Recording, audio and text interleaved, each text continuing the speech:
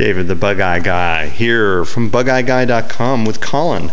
And Colin is sold to a new owner and undergoing his transformation before departure. You can see back here it's a really nice glossy finish, but the closer you look, there are a number of imperfections. So what's happening now on Colin is that we've sanded, wet sanded the the car, and uh, this is not something you want to try at home because the fellow who's doing it has probably 30 years of experience.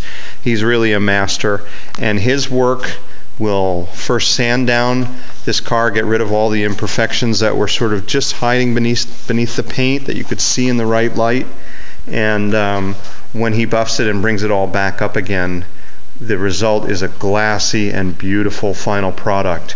So a really nice car that we're making even better before departure. The other interesting thing that you'll watch unfold because we'll bring you some updates is this was a very stock looking 948 car and we're going to jazz it up a bit with some chrome exhaust pipes on the back, uh, performance muffler, Minilite wheels, wider tires, and really basically custom built this custom build this car for the new owner and uh, really it's the car of his dreams set up the way that he wants it.